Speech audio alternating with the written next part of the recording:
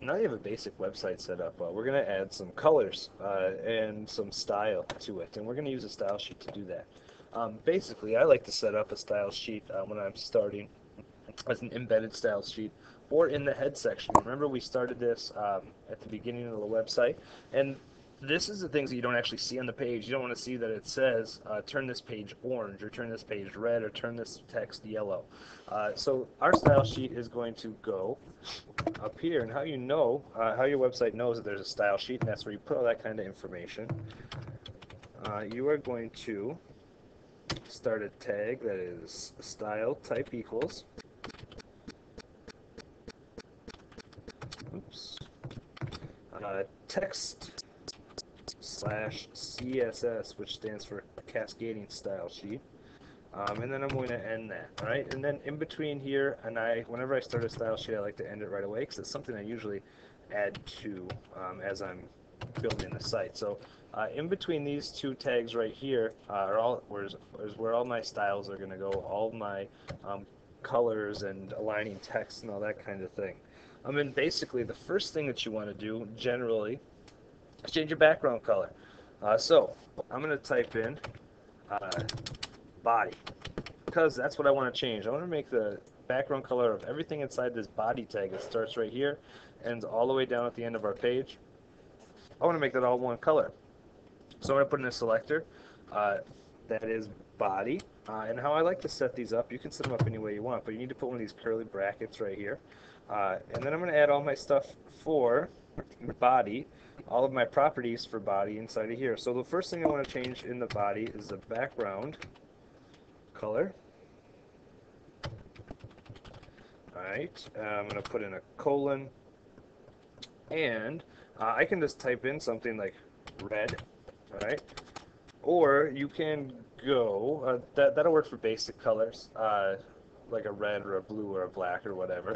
Uh, you can also go to a website like this, HTML color codes. If you just search for HTML color codes, you'll get a bunch of different ones. Or you could pick any letter that you want. Let's say I really like one of these.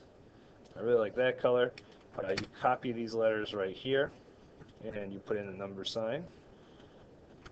And that number, uh, and then that's good to go. And let's say that's the only thing I want to change about my body. So I'm going to hit Control S, and I'm going to come over here to my website and look at it, and that's going to change my background color to be blue. Alright, so that's nice. Uh, next, if I wanted to do that for any other elements, uh, to change a color of any other elements, let's say, look right here, I have an H1. That's my heading. Let's say I want to change the color of that. I'm going to go to, oops, H1. I'm start a bracket right here. And I'm not going to change the background color this time. I'm just going to put in a color uh, and a colon and let's say I want that to be red. If you just type it in, uh, you need to put a semicolon afterwards.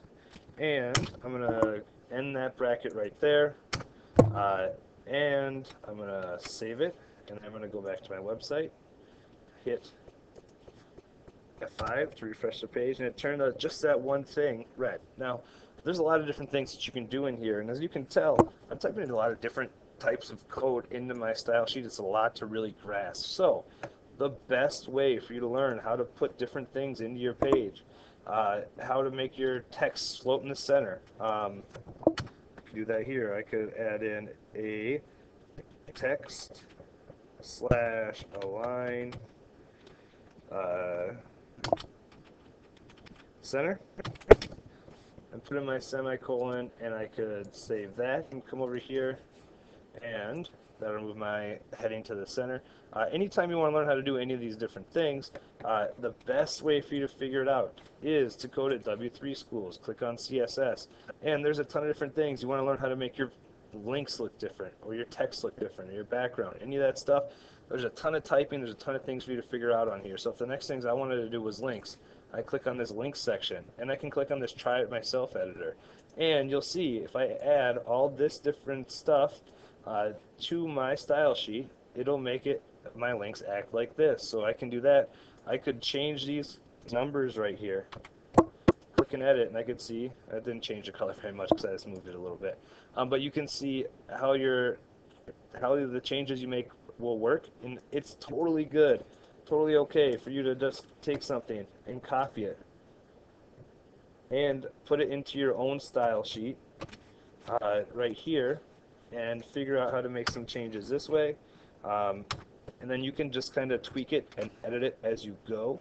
Uh, and that's totally okay. That's a good way to start learning. So um, you can see I changed the color of this now too. So uh, that's all different things that you're going to try. And that's really the best way for you to learn CSS is to go onto this website. Um, there's tons of colleges and other schools that this is a great way to learn um, and use the resources that are out there. Find that stuff yourself.